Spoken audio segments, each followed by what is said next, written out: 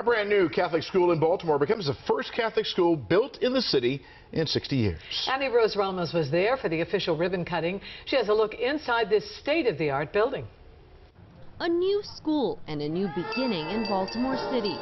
Isn't there anything more beautiful and hopeful than a new Catholic school? Named the Mother Mary Lange Catholic School, a $24 million project. This looks a whole lot prettier than the Catholic school I went to. With state-of-the-art classrooms Wow, this school is amazing.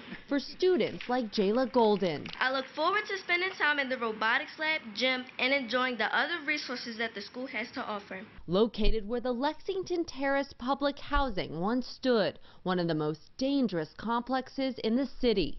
This is a true uh, mark of what transformation through the power of the Lord looks like. where 80 to 90 percent of the non-Catholic student population is expected to qualify for tuition assistance from the Archdiocese.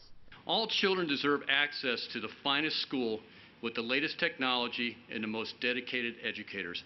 The governor also announcing funding for schools like this one. $39 million more in federal funding to provide additional relief for non-public schools to address some of the impacts of COVID-19. families are ready. They are ready for a new beginning. They are ready to be a part of history. Now, the first day of school here is August 30th, and it will open to over 400 students. I'm Annie Rose Ramos reporting for WJZ.